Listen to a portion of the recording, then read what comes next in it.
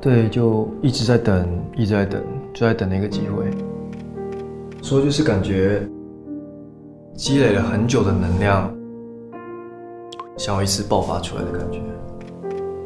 当时我整个人是懵的，P.D. 没有喊到我的时候，我那时候心想：不会吧，不会吧，不会吧。对，唉，太想要出道了，会胆怯。但不会想要停下来，因为想要让喜欢我的人看到我站在台上的样子。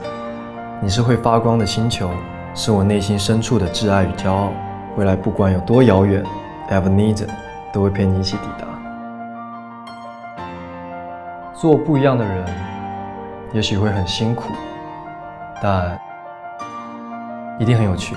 我是李彦俊，来威视一起发现更有趣。